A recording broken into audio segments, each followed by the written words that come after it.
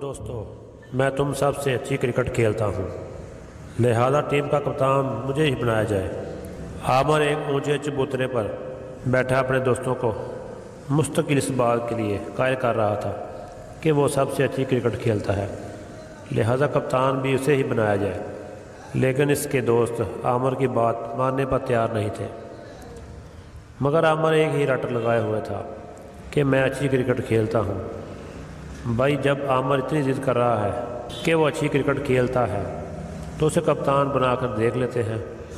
आमर के एक दोस्त ने बकिया दोस्तों को राय देते हुए कहा, ठीक है ठीक है। आमर को कप्तान बना देते हैं।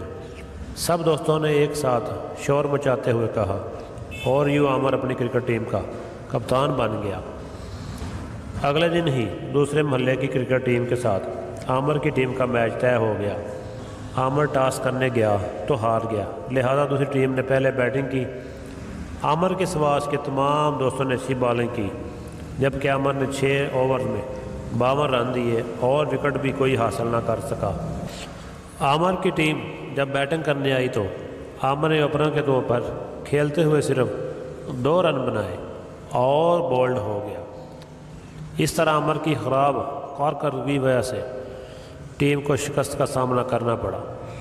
आमर मुँह लटकाए अपनी टीम के साथ वापस घर जा रहा था। कि उसके अपने दोस्त किसी ने आवाज़ सुनी जो दूसरे से कह रहा था। आमर अपने खेल की किस कदर तारीफ़ कर रहा था और जब नतीजा आया तो सिफर।